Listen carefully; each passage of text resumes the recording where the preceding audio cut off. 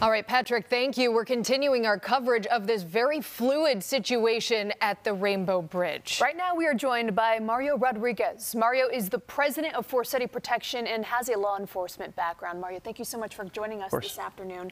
So, first, just as a security expert, I want to get your general reaction to this afternoon's events. Yeah, it's uh, it's a pretty fluid uh, situation, as you mentioned. Uh, the first thing that we thought of when we had a team brief this afternoon was uh, Director Wray from the FBI's uh, testimony last week on the Hill, and his conversation was that uh, the United States was kind of under a direct attack with everything going on in the Middle East, that uh, there was some cause for concerns to be vigilant in our own communities at the moment. Uh, so obviously, again, information continues to evolve and change, but that was the first reaction that we had. People watching at home, this might be a scary situation for a lot of us here in Western New York. We're all on edge from this. What do you suggest to folks who are watching? Their kids are coming home from school right now. What should people be doing right now? I think being vigilant and having open discussions. Um, this is not a time to be fearful. I think it's one of the most empowering moments of our, our time.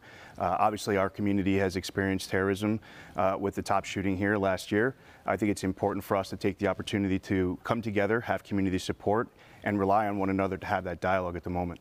And Mario, we, we spoke with you after 514, and you spoke of situational awareness, and I think that also applies now to today's events. Talk on a little bit about that. We break it down at its simplest form. We're, we're doing that in our in our day to day. If you have kids, you have children, you're looking at risks. Don't go here, don't go there. Watch out for that, you know, puddle or slip and fall. On a higher level, we want you to apply that same strategy. You're you're doing risk components in your everyday life. applied on a bigger scale. If you see something, say something kind of have that spider sense in a way. And if you feel a little something on edge, go with that instinct. Just for a background for our viewers, I should have asked this first. Forseti Protection, what does your security firm exactly do, and how do you help this community? Thank you. Yeah, so we're a security risk management company, full enterprise security, everything from cybersecurity all the way to the physical components of that. The risk assessments, those vulnerability assessments, and then uh, the protection levels and making recommendations at its highest points. So as we mentioned, you know, the situation is very fluid. There's a lot to look at. There's a lot to confirm. But what are some of the things, you know, authorities will be looking at, you know, immediately now and especially over the coming days as well? Yeah, I think obviously the turkey trot is, is tomorrow. Uh, our community is obviously going to be a little bit on edge, so you're going to have an all, all hands on deck approach. Um, they're still trying to assess the situation in Niagara Falls at the moment. Uh, I would expect that that bridge is going to be open and all the bridges and transportation are going to be back open probably later on tonight. Uh, but I, I, would say that the next coming days are going to be high alert aspects. Anything that's going on in the community, you're going to see a heavy physical presence uh, of law enforcement, uh, but it's not to be one that's going to be intimidating by any means. Is your firm doing right now as soon as you heard about this news? Yeah, we've been pretty active with most of our clients immediately. Uh, you saw the listing that they had a moments ago with many of the local community uh, locations being shut down. Uh, that means that we're trying to stay fluid in making sure their emergency response and preparedness and those business continuity plans that they have in place are being applied appropriately.